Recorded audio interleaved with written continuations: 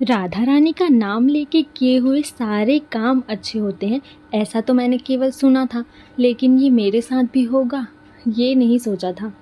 Anyways Radha ji की ऐसी नाम वाली पेंटिंग वृंदावन में आपको बहुत सारे वॉल पे दिख जाएगी, जो काफ़ी ज़्यादा प्यारी होती है और इतनी कलरफुल होती है कि बस मन करता है कि उसको देखते रहें।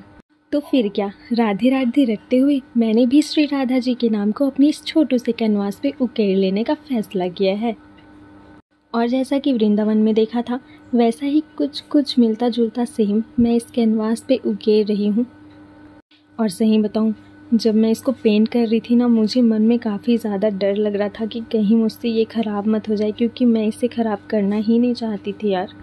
इसलिए मैंने सबसे छोटे वाले ब्रश का यूज़ किया है इसको पेंट करने के लिए, और जब ये बना ना, मुझे काफ़ी ज़्यादा खुशी हो रही थी कि जैसे मैंने वृंदावन में देखा था, वैसा ही सेम मैंने खुद बना